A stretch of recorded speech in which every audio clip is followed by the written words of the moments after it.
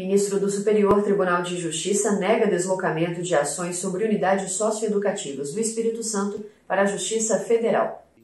O ministro Reinaldo Soares da Fonseca negou o pedido do Ministério Público Federal para que fosse deslocada para a Justiça Federal a análise de ações sobre a situação das unidades socioeducativas do Espírito Santo e também a apuração de responsabilidades criminais e administrativas de agentes públicos e autoridades estaduais. O ministro considerou que, embora tenham sido apontados indícios graves de violação de direitos humanos, que podem inclusive gerar a responsabilização do Brasil em âmbito internacional, não foi demonstrado que os órgãos estaduais não tenham condições de seguir no desempenho da função de apurar e julgar os casos. As ações foram instauradas após denúncias sobre a manutenção de adolescentes custodiados em instalações superlotadas, insalubres e sem condições estruturais adequadas.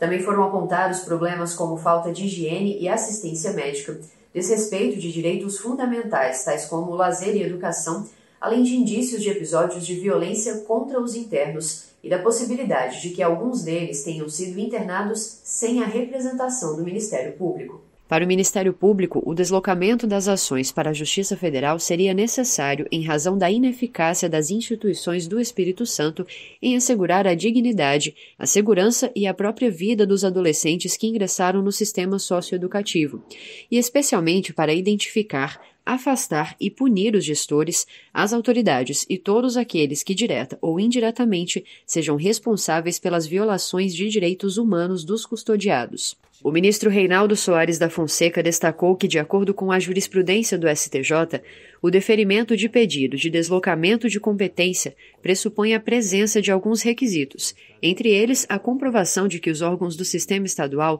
não possuem condições de continuar nas funções de apuração e julgamento isento. Mas o ministro apontou que o próprio pedido de deslocamento indica que o Ministério Público e a Defensoria Pública estaduais vêm atuando incansavelmente na defesa dos direitos dos jovens internados nas instituições do Estado. O relator destacou ainda que o Judiciário Estadual tem realizado a prestação jurisdicional em tempo razoável, inclusive já tendo proferido sentença definitiva em algumas ações levantadas pelo MPF.